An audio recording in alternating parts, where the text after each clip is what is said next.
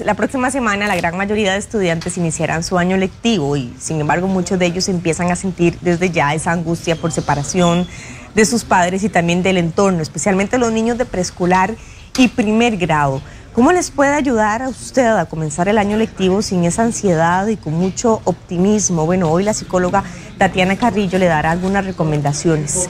Buenos días, Tatiana, ¿qué tal? Hola, Thais, ¿cómo estás? Qué gusto saludarte. Igualmente. Eh, es un tema que yo creo que muchos de los que estamos en la casa, que pasamos ya por eso, recordamos, justo lo hacían mis compañeros, en algún momento algún compañero o uno mismo, ¿verdad? Cuando ya le tocaba empezar las clases, eh, esa tensión que se genera. ¿Por qué ocurre esto, Tatiana? Yo creo que es un aspecto que dejamos como en un segundo plano, Thais porque nos enfocamos mucho en la emoción de la entrada, nos enfocamos muchísimo en ir a comprar los útiles, en preparar los cuadernos, en comprar los uniformes y se nos olvida que hay un aspecto que es muy importante que tenemos que trabajar y es el prepararnos también emocionalmente. Eh, viene a ser una primera separación eh, en un espacio de tiempo un poco más largo, con personas que van a ser desconocidas, en entornos desconocidos, en donde además los niños van a estar eh, de pronto en contacto con, otros niños, ¿verdad? Y entonces, eh, en este sentido, son muchas variables, son muchos cambios, aspectos nuevos, y entre más pequeños están, pues más difícil puede ser, ¿verdad? Este, este, esta secuencia de cambios que deben ir haciendo los niños. Eh, y que de pronto, ¿verdad? Como decía ahorita, es la primera separación que van a hacer como la más importante que van a hacer. Entonces sí es normal y es esperable que tengan esta, esta combinación de sentimientos porque eventualmente están muy contentos porque quieren estrenar el uniforme, quieren llevar su merienda, quieren llevar sus cosas, quieren jugar con los niños y es como, como esa ambivalencia de que ya cuando llegan y ya se ven que bueno, yo voy a empezar esta etapa, pero mi mamá no se va a quedar, mi papá tampoco se va a quedar, ¿verdad? Me van a dejar aquí solo. Entonces ya es en ese punto en donde podemos empezar a ver los primeros signos, ¿verdad? Sentir angustia y sentir ansiedad es lo mismo, Tatiana, te lo pregunto porque justamente estamos hablando de la angustia, pero no sé si el tema de sentirse ansiosos tiene una relación, es lo mismo. No, no es lo mismo porque la angustia es, es una reacción que tenemos nosotros a un evento nuevo. La angustia podríamos pensarla, Thais, como algo más, más físico, más corpóreo. Lo pongo como ejemplo, es como esa sensación de cuando yo estoy enfrentando una situación, algo que es nuevo, que me surge como una amenaza y que de pronto decimos, ay, siento un hueco en el estómago, siento, siento como las mariposas en el estómago, ¿verdad? La angustia es una emoción eh, que, tiene una función muy importante en las personas. ¿Por qué? Porque es una función que precisamente entra en acción cuando nosotros nos estamos enfrentando a un evento, a una circunstancia que puede convertirse en una amenaza. Entonces, todo el cuerpo entra en una, en una función de alerta. ¿Para qué? Para que yo pueda responder de la mejor manera y pueda responder rápido y ponerme en salvaguarda ¿verdad? de esa amenaza. Entonces, la ansiedad es diferente en el sentido de que la ansiedad puede acompañarse de, de pensamientos anticipatorios. ¿Cómo es esto? El pensamiento anticipatorio es, ¿y si no vienen por mí? y si me pasa algo y en los papás el pensamiento sería y si y si lo lloran lloran mucho y no lo atienden y si lo golpean y si se cae y si no se dan cuenta de que se salió del grupo ahora entonces la ansiedad tiene que ver con eh, procesos más a nivel de pensamiento, ideas anticipatorias y la angustia puede ser más bien una reacción más corpórea, ¿verdad? Y de pronto también es importante hacer el señalamiento de que la angustia puede ser más pasajera. La ansiedad es una sensación que puede durar más tiempo y que a la larga, si no la trabajamos, ¿verdad? Y si no la tratamos bien, se nos puede llegar a, compartir, a convertir en un trastorno. Okay. Ansiedad más de pensamiento va relacionada más con lo que nosotros estamos pensando en ese momento y la angustia es más corporal. Exacto. El huequito en el estómago, que me sudan las manos, todo esto. Exacto. Okay. Y es más pasajera la, angustia. Sí, porque cuando pasa el evento, eh, ya a mí, yo vuelvo a mi estado normal, ¿verdad? Entonces, de pronto en un examen o algo que me toma a mí de sorpresa, yo llego y siento ese sobresalto, ¿verdad? De, ¿qué va a pasar? algo está pasando, ahora yo siento el sobresalto, pero después de que este evento pasa, listo, yo llegué y lo cerré. En la ansiedad vamos a quedar pegados en el pensamiento. Ok, ya sabemos que entonces en el momento que ya pasa, Quiere decir, puede, puede, ser que el niño lo experimente más de una vez en la semana, en la primera semana, por ejemplo, la siguiente que ya empiezan la mayoría de clases, puede ser que lo sienta el lunes, el martes, por ahí el miércoles ya se le vaya quitando o de repente ya el día siguiente no lo va a sentir más. Eso es interesante porque hay niños que no lloran el primer día. Ajá. ¿Verdad? Entonces, eh, de pronto los papás se quedan como con esa sensación de, ay, yo soy, yo soy la que siento yo soy la que siento que, voy a llorar o que me cuesta ese desapego el primer día y el niño llegó y dijo, ay, bueno, chao. El segundo, el tercer día puede ya empezar a aparecer esa, esa angustia o esa ansiedad, ¿verdad? Por tener que separarme, ¿verdad? O inclusive hay, hay niños que, por ejemplo, no lloran el primer día, lloran el tercer, el cuarto, el quinto día vuelven otra vez a bajar, ya se empiezan a quedar tranquilos, pero entonces viene un fin de semana y en el fin de semana ya dejamos la rutina de estar en la, en la escuela, en el preescolar, y entonces eh, lo que nos va a suceder es que el lunes cuando volvemos a llegar a la escuela, otra vez volvemos a empezar con la crisis. Lo que va a pasar es que paulatinamente van a ir bajando estos sentimientos y estas reacciones, ¿verdad? Eso es lo que nosotros esperamos y lo que quisiéramos pues hoy dar a partir de recomendaciones, ayudarles a los papás y ayudarles a los niños a poder sobrellevar mejor esta etapa. De hecho, hay una pantalla con estos signos de angustia por separación que queremos que ustedes vean ahí, ya, ya va a aparecer y también que eh, usted sepa más o menos cómo dirigirse a su, a su hijo o a su hija. Llora desde el primer día, bien decía Tatiana que no siempre sucede así, ¿verdad? Puede ser que llore después, se niega a despedirse, ahí vemos una fotografía que ejemplifica muy bien, ¿verdad? El tema de me agarro a mi mamá o a mi papá y aquí nadie me, me, lleva llora una semana o unos días antes, es decir, ya para este tiempo muchos de los niños deben estar en este proceso. Sí, precisamente, ¿verdad? Es importante saber que eh, no, no todos los niños van a reaccionar igual. Hay algunos que reaccionan en el momento, que desde el primer día pueden empezar a llorar y, les cuesta hacer esta separación. Y hay otros que conforme van pasando los días, entonces empiezan a sentir ese malestar o... Em, esa sensación de, ansiedad o de inseguridad, de, de que no me quiero quedar.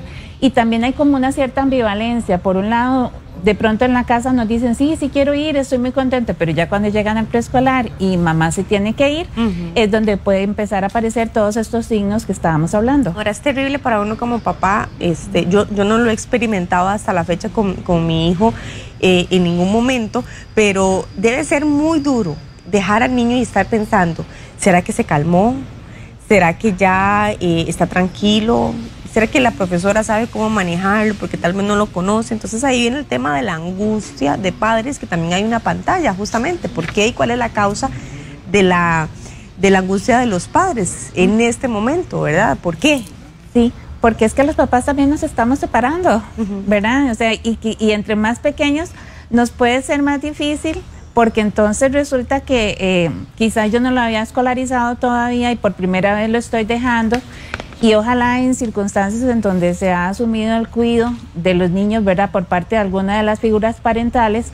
Entonces, esta primera separación, si yo pensemos en un caso, por ejemplo, de un pequeñito de dos, tres años que entra en un maternal, y entonces, eh, durante esos dos, tres años, el niño siempre estuvo bajo el cuidado de los abuelitos, de los papás, ¿verdad? Entonces, en ese momento, cuando yo estoy delegándole el cuidado, imagínate lo que es darle lo más preciado que tenemos, ese tesoro que tenemos, dárselo a una persona que apenas si la vi una vez en una reunión, ¿verdad? Que no sé si, la, si, si va a saber, por ejemplo, leer el llanto, ¿verdad? Porque no sé, bueno, me imagino que vos te pasa, que vos llegas y sabes leer el llanto de tus hijos, ¿verdad? Claro, sé identificar cuando es de dolor. Exacto, ¿verdad? Y uno, uno está así, o inclusive le identificar la carita y vos decís, eh, tiene fiebre, se siente mal, algo tiene, ¿verdad? Entonces tenemos ese, eso, eso, eso es parte del vínculo, ¿verdad? Que nosotros hemos desarrollado con nuestros hijos en esos primeros años de vida. Entonces imagínate lo que es, por ejemplo,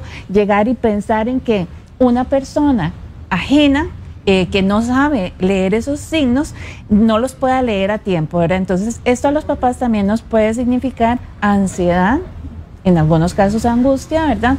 Eh, por, por el tema del cuidado de nuestros hijos. Es normal y yo siento que es importante también pensar que nosotros como papás podemos, mamás, podemos sentirnos así y que está bien. Y fíjate que yo creo que una de las cosas más, más buenas más bonitas que le podemos dar a nuestros hijos es, esa, es esta sensación, sí, mi amor, yo entiendo, eh, entiendo lo que estás sintiendo. A mí también a veces me cuesta separarme de vos, pero igual mamá tiene que ir a trabajar y verá que cuando mamá va a trabajar, vos te quedas con la abuelita o te quedas con la persona que te cuida y después mamá viene. Bueno, esto va a ser igual, vamos a hacer exactamente lo mismo, lo vas a poder manejar, ¿verdad? Entonces yo creo que en ese sentido los papás podemos eh, comprender que estamos en esa etapa también nosotros. Ahora suena muy sencillo, ¿verdad? Decirle y pareciera como que van a entender, sí, ya vas a volver y todo va a estar bien y yo, pero no es no es así de fácil, ¿verdad? Incluso cuando ya son un poquito más grandes ellos refutan, no, no me quiero quedar. Eh, ¿Cómo podemos ayudarle? No sé si esta técnica he escuchado y he visto muchos papás que mejor, eh, bueno ya, aquí está, chao, me voy, llore, eh, y se va. No sé si, si esto de dejar al niño con esa indiferencia tal vez eh, puede generarle una reacción a futuro que sea peor. Creo que la despedida debe ser rápida pero afectiva, ¿verdad? Yo no, no lo dejo ni enojada ni distante, no me voy a despedir porque es que si no se pone a llorar, no. Tiene que ser una despedida rápida y tiene que ser también una despedida afectiva, en el sentido de que de que yo llego, lo abrazo, le doy un beso, le digo, mi amor, este, vengo más tarde por vos. A veces cuando son muy pequeñitos no manejan la noción de tiempo. Entonces, en ese caso, la recomendación podría ser decirle, bueno, em, te vengo a buscar antes de que almorcemos. ¿verdad? Entonces ya el niño en ese, en ese punto yo le estoy enseñando y le estoy dando eh, una, una, idea de a qué hora va a venir. Y vengo y vamos y almorzamos juntos y me cuentas cómo te fue. No es recomendable tampoco hacer separaciones muy largas o eso de que a veces sucede que voy y vengo. Voy y vengo, ¿verdad? Entonces veo que está llorando y me devolví. Entonces la maestra está en ese punto tratando de contener al niño, ¿verdad? Y de acompañarlo. Y de decir, la reacción de papá o mamá fue una reacción de, de angustia, ¿verdad? De separación. Entonces llegó y se devolvió. Y cuando se devuelve, entonces el niño otra vez vuelve a entrar en un, en un espacio de crisis. Tampoco sería conveniente pensar en que vamos a dejarlos llorar dos, tres, cuatro horas, ¿verdad? Entonces, si tenemos situaciones en las cuales el llanto es constante y yo veo que además no cesa, yo podría bien, bien pensar en que vayamos eh, alargando la jornada de forma paulatina. ¿Qué quiere decir esto? Bueno, que hoy te vas a quedar hasta las 9 de la mañana. Mañana lo vamos a hacer mejor y te vas a quedar hasta las 9 y 30. Y vamos aumentando de forma paulatina la jornada hasta que logre quedarse una jornada completa, ¿verdad? Entonces, esto le va a ayudar al niño a no sentir esos espacios tan largos, ¿verdad? Porque para ellos pueden ser espacios muy largos. Claro. Esta consulta que hace Silvia Araya, yo sé que muchos de los papás están con exactamente la misma situación. ¿Cómo realizar la separación de los niños que nacieron durante la pandemia? Ellos tienen un apego mucho mayor a los padres, tiene toda la razón, nunca han salido a ningún otro lado.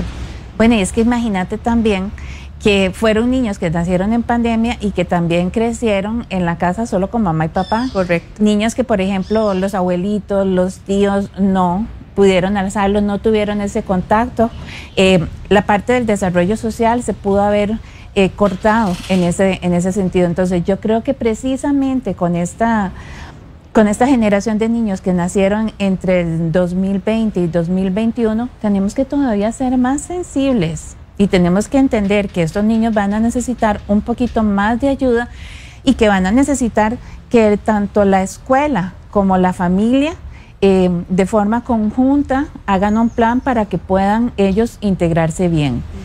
Si yo, por ejemplo, sé que, que mi hija tiene, no sé, una dificultad para, para separarse, que le ha costado desarrollar esta parte social, entonces yo lo que podría pensar es, en establecer una reunión primero con los docentes y contarles, bueno, cómo ha sido el desarrollo, cómo reacciona ella a los cambios, cómo reacciona a las personas que son nuevas, con las que usualmente no tienen ningún tipo de relación, ¿verdad?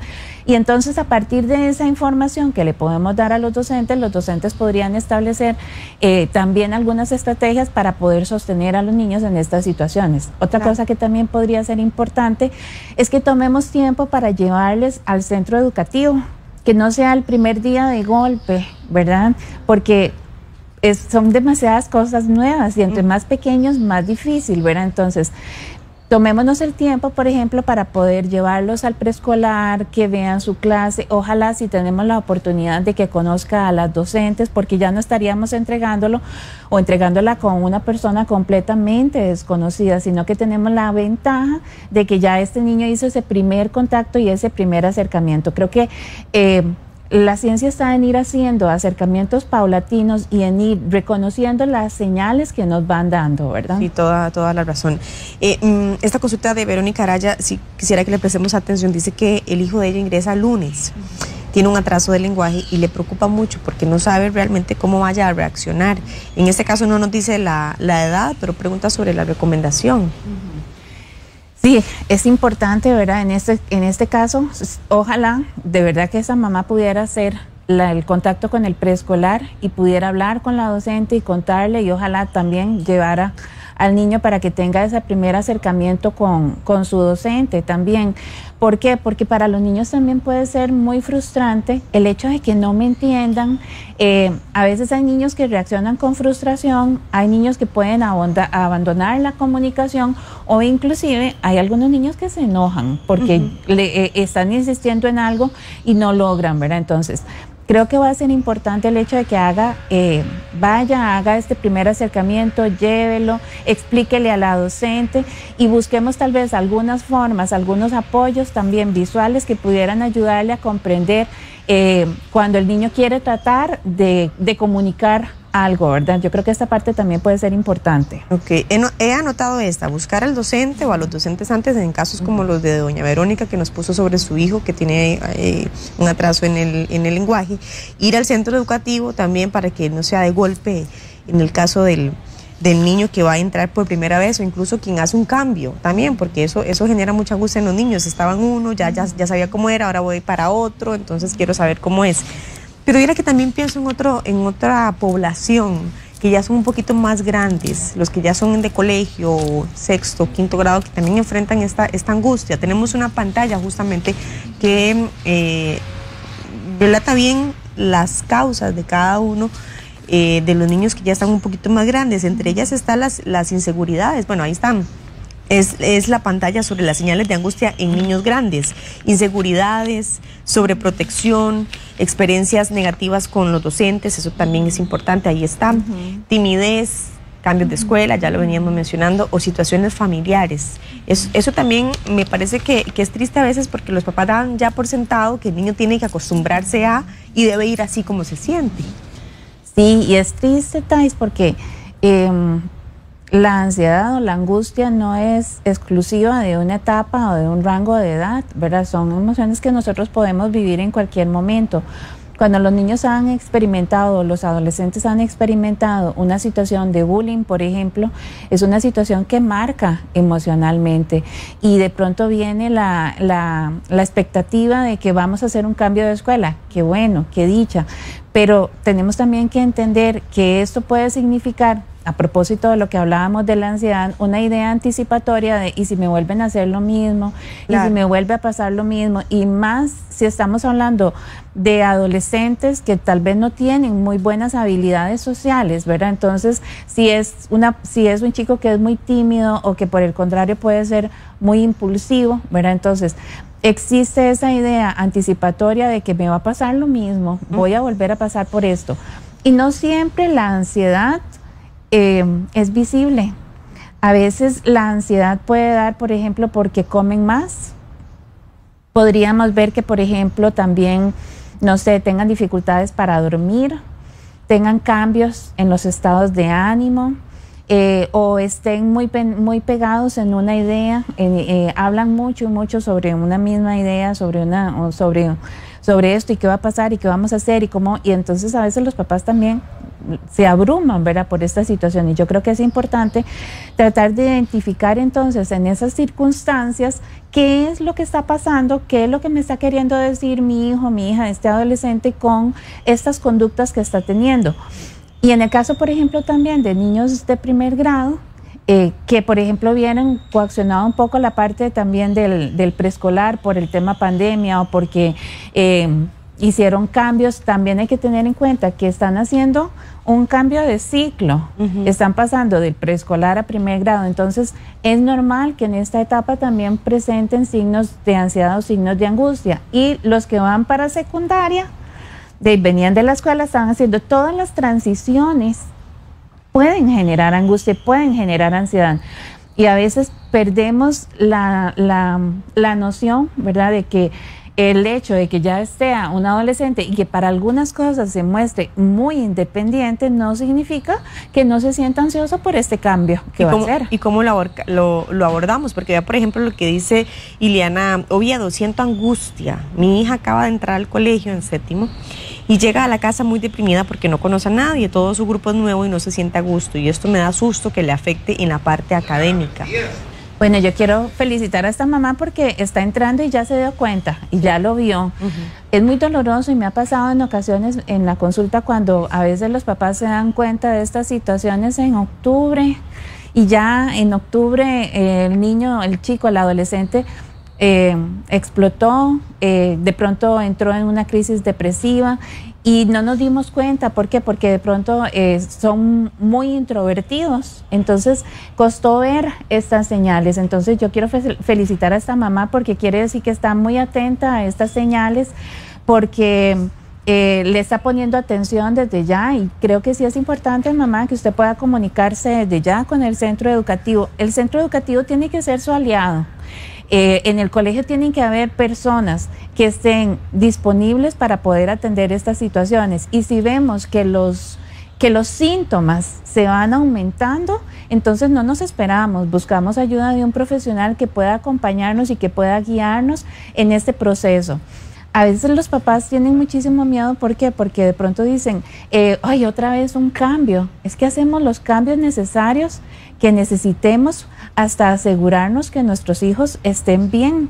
Y a partir de los cambios aprendemos, ¿verdad? Entonces yo creo que es peor que por esos miedos y por esas ansiedades nos quedemos pegados sin actuar. Eh, teniendo la alternativa de poder ejecutar cambios también nosotros. Vaya al colegio, hable, esté pendiente del estado de, eh, emocional de ella. Pida que, por ejemplo, en el colegio, si buscamos a alguien que nos diga, bueno, como qué tipo, y ojalá si conocen a las compañeras, si conocen el grupo, eh, con qué tipo de estudiantes, de acuerdo al perfil de su hija, con qué tipo de estudiantes podría establecer un vínculo como para ayudarle un poco a hacer ese arranque para que pueda establecer un grupo social. También hay que tomar en cuenta que esta es una etapa en donde la pertenencia al grupo social es muy importante. Entonces, ella lo debe estar pasando muy mal porque no tiene grupo social. ¿Y cómo la acompaño yo? Por ejemplo, yo sé que tengo que ir a hablar con el docente, ya le expliqué. Ahora, ¿qué hago yo desde la casa con mi hijo cada vez que llega y llega así, como dice doña Eliana, eh, deprimida, no quiere, ¿verdad? Tal vez probablemente comer o salir. ¿Qué le digo yo como papá o como mamá a una hija para incentivar que sea una persona segura y, no sobreprotegerla tampoco? Sí, eh, es muy importante, hay una técnica que a veces trabajamos los psicólogos, ¿verdad? Que es como el role play. ¿verdad? Entonces eh, me pongo en el lugar, contame qué fue lo que pasó, qué fue lo que vos dijiste, qué te dijo esta persona. Bueno, ¿qué te parece si en una situación así podrías contestar tal y tal cosa? Juguemos de que yo soy de que yo soy Tai y Tai es Tatiana. Entonces, eh, yo voy a hacer lo que esta compañera hizo y vos vas y, y, vamos a hacer este juego en donde vamos a darle a nivel de estrategia y en un juego algunas estrategias, habilidades, ¿para qué? Para que sepa cómo responder. A veces le decimos a los hijos, ¿verdad? Este, no le haga caso o um, ignórelo o um, este no no pero usted usted hágase como que no es con usted y no esto no les ayuda a ellos. ¿por qué? porque les está molestando. Si no les está diciendo es porque le está molestando. Entonces en este tipo de actividades usted puede hacer eh, cambiando de roles una aproximación para darle un poco más de habilidades y de estrategias de cómo reaccionar en X o en Y circunstancia, ¿verdad? La escucha es muy importante, el fortalecer su autoestima, el decirle, bueno, que mañana es otro nuevo día, que lo vamos a intentar, pero sobre todo lo más importante es que si yo veo que pasan las semanas y esto no está bajando y su estado emocional más bien va comprometiéndose más, es importante que busquemos ayuda. Muchas gracias a todos los que están haciendo sus consultas a través de nuestro Facebook. Vea, por ejemplo, lo que dice Gabriela Gómez. Tengo un niño de 6 años con el trastorno del espectro autista y al principio estaba muy emocionado porque va para primero. Conforme faltan los días o menos días para que entre a clases, se ha puesto más nervioso. Me dice que quiere ir al kinder de nuevo, o sea, quiere retroceder. Eh, al escucharlo yo me pongo también nerviosa, yo trato de calmarlo y de decirle que todo va a estar bien, pero al rato me vuelve a decir lo mismo. Y no sé cómo manejar esta situación, me asusta que llegue el momento en que se tenga que quedar en la escuela. Nos pasa a veces con niños, niñas que están dentro del espectro, que puede ser que se queden pegados o que tengan ciertas fijaciones, eh, que les cueste hacer como este paso, ¿verdad? a cambios también Creo que es esperable que lo haga. Vamos a ir reforzando la conducta positivamente en función de que cada día que él vaya lo va a hacer. Anticipemos anticipemos, trabajemos mucho la anticipación para los mamá, las mamás y los papás que tienen niños que están dentro del espectro autista. Es muy importante que trabajen el tema de la anticipación. ¿Qué es la anticipación? Es todos los elementos que yo le puedo dar a, nuestro, a, los, a los niños y a las niñas que digan qué va a pasar durante su jornada. Eso va a hacer que baje el nivel de ansiedad también hay que darles, hay que trabajar con ellos en función de realidad, ¿verdad? Los niños a cierta edad, todos los niños de 7 de siete años van a primer grado. A veces los niños de primer grado se sienten preocupados o se sienten ansiosos. Y también algo que es muy importante es decirle que esto que está sintiendo se llama ansiedad y que a veces nos podemos sentir así ante cambios. Eh, importante, yo reitero, trabajemos mucho con el centro educativo. Eh, maestra, me está pasando esto, me está diciendo esto, usted me podría ayudar, usted me podría dar alguna recomendación o usted podría ayudarle que cuando él va para la escuela, eh, que cuando él está llegando a la clase, que usted lo reciba, que se quede con él porque le está costando un poco hacer ese cambio tienden a tener un poco de patrones más restrictivos a nivel de intereses y de rutinas. Entonces, lo que van a hacer algunos cambios, hay niños que pueden ser un poco más inflexibles, entonces les cuesta hacer, si ya yo estaba muy bien aquí, ¿para qué me están cambiando, verdad? Entonces es importante en ese sentido ir trabajando a nivel cognitivo, irle dando todas las herramientas necesarias para que él pueda ir comprendiendo que esto es lo que corresponde de acuerdo a su etapa. Hagámosles, por ejemplo, eh, en cuanto a la anticipación, una rutina las rutinas ayudan muchísimo en este punto. Si yo, por ejemplo, todos los días en la mañana establezco la misma rutina, ¿qué pasa con esta rutina? Bueno, nos levantamos y ojalá levantémonos temprano estos días, ¿verdad? No, no nos levantamos en carrera y con enojos y que corra y que yo voy para el trabajo y que a mí me va a agarrar tarde y que, porque esto lo que va a hacer es que ya eh, esa, esta disposición va a ir un, poco comprometido con respecto al ajuste que tienen que hacer después.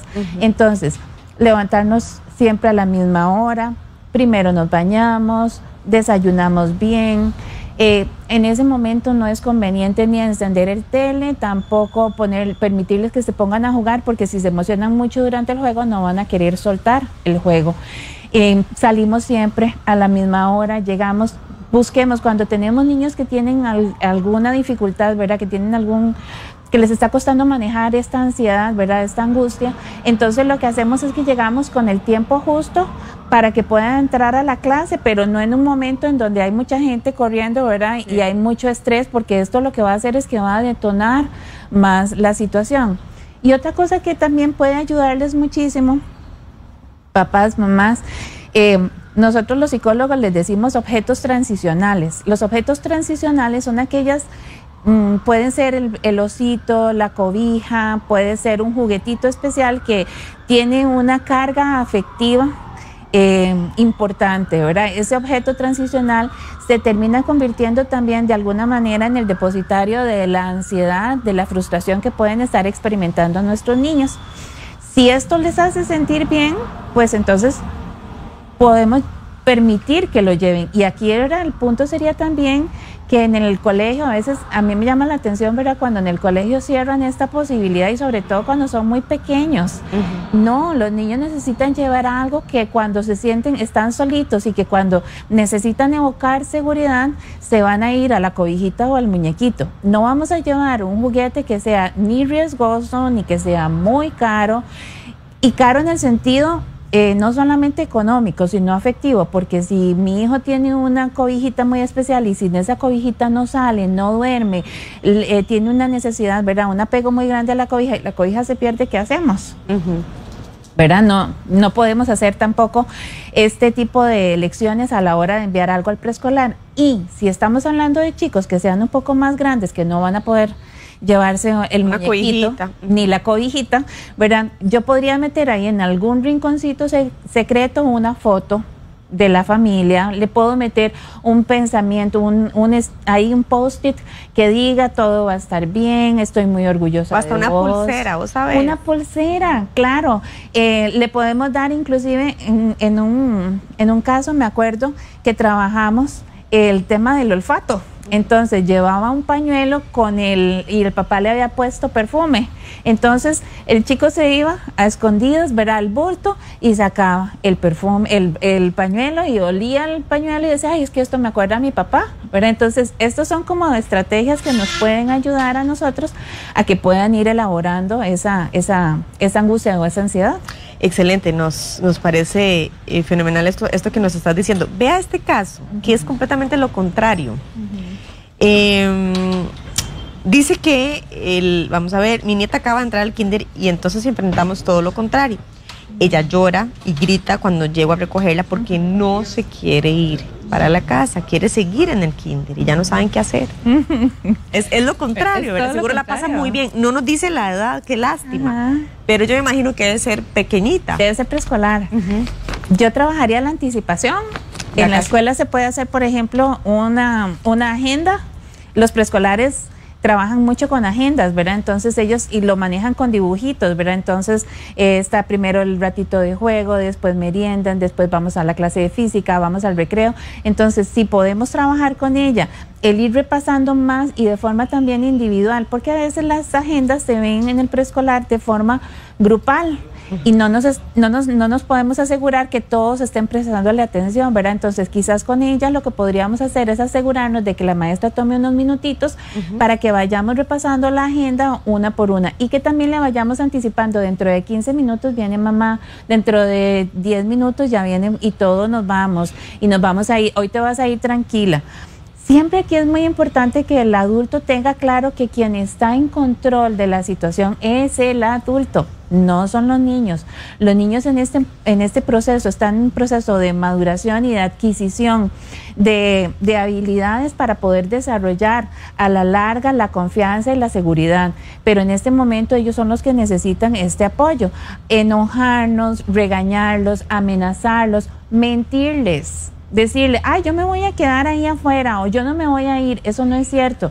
¿Qué va a suceder cuando el niño se asome, cuando se dé cuenta que mamá no está?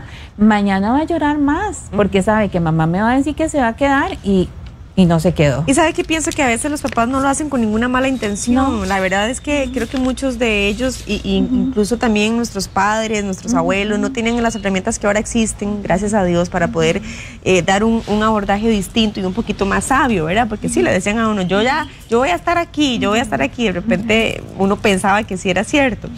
Pero bueno, le agradecemos muchísimo a Tatiana Carrillo sus recomendaciones. Yo quisiera que si ustedes quisieron con alguna, quedaron con alguna duda, contacten a Tatiana Carrillo.